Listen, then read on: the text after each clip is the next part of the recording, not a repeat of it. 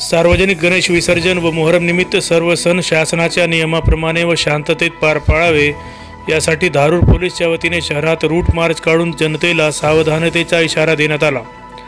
Route मार्चचे नेतृत्व Dharur police ठाण्याचे police निरीक्षक श्रीमती सुरेखा धस यांनी केले.